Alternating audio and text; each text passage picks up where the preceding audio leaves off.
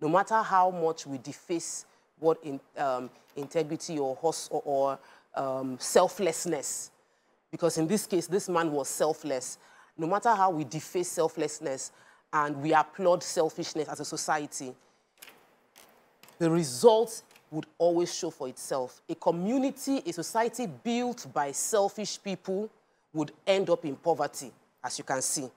And a society built by selfless people will end up in growth.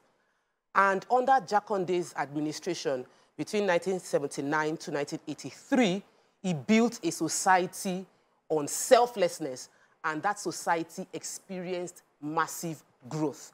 That's what happens with selflessness. Selfishness brings people down.